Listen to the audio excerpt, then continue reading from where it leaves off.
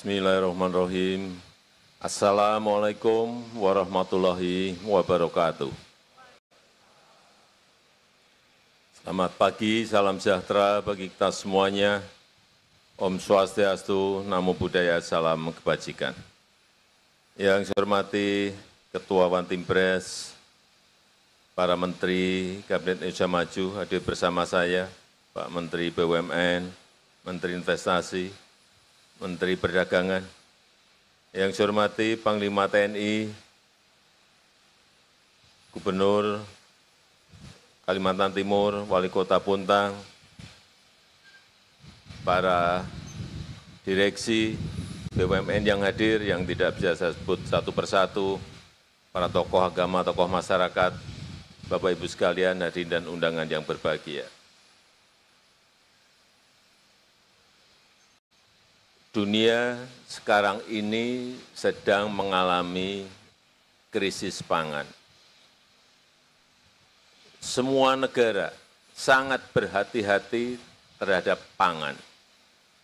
Dulu kalau kita impor yang namanya beras, yang namanya gandum, begitu sangat mudahnya kita cari. Sekarang ini semua negara, 22 negara yang biasanya gampang kita beli berasnya, sekarang ngerem semuanya. Bahkan ada yang stop untuk bisa dibeli berasnya. Artinya, pangan ke depan menjadi sangat penting sekali bagi semua negara. Dan produktivitas pangan kita memerlukan yang namanya pupuk beberapa komponen pupuk, bahan baku pupuk kita masih impor. Sehingga kemandirian itu menjadi tidak kita miliki. Oleh sebab itu, saya sangat mengapresiasi, sangat menghargai upaya keras pembangunan industri amonium, amonium nitrat ini. Ini penting karena 21 persen amonium nitrat kita masih impor. Dengan dibangunnya pabrik eh, Kaltim amonium nitrat ini akan mengurangi dari 21 persen impor dikurangi 8 persen. Artinya masih juga 13 persen kita masih impor.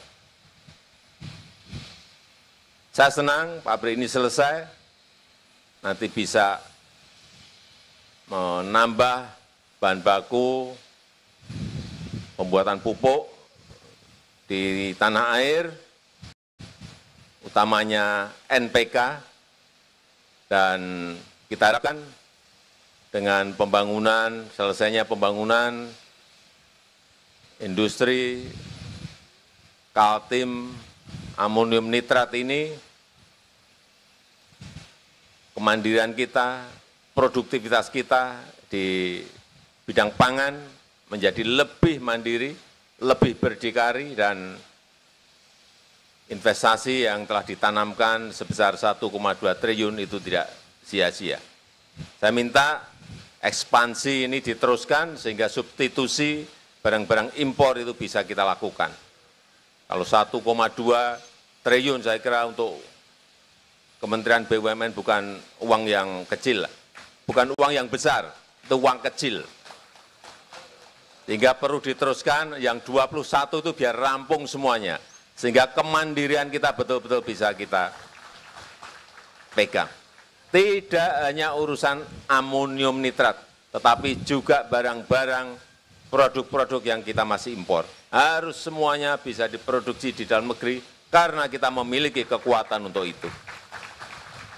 Saya rasa itu yang ingin saya sampaikan dalam kesempatan yang baik ini dan dengan mengucap Bismillahirrahmanirrahim, pada pagi hari ini saya resmikan pabrik amonium nitrat PT Kaltim Amonium Nitrat di Kota Bontang, Provinsi Kalimantan Timur. Terima kasih. Wassalamualaikum warahmatullahi wabarakatuh. Mohon berkenan mendampingi Menteri BUMN, Menteri Investasi, PJ Gubernur Kalimantan Timur, Direktur Utama Diven ID dan Pupuk Indonesia, serta Direktur Utama PT Dahanal, PT Pupuk Kaltim, dan PT Kaltim Amonium Nitrat.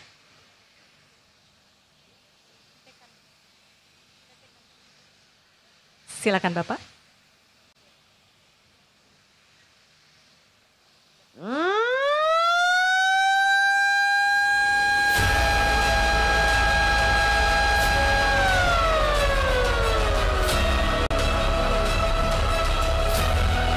Dengan demikian, pabrik amonium nitrat PT Kaltim Amonium Nitrat telah diresmikan oleh Presiden Republik Indonesia.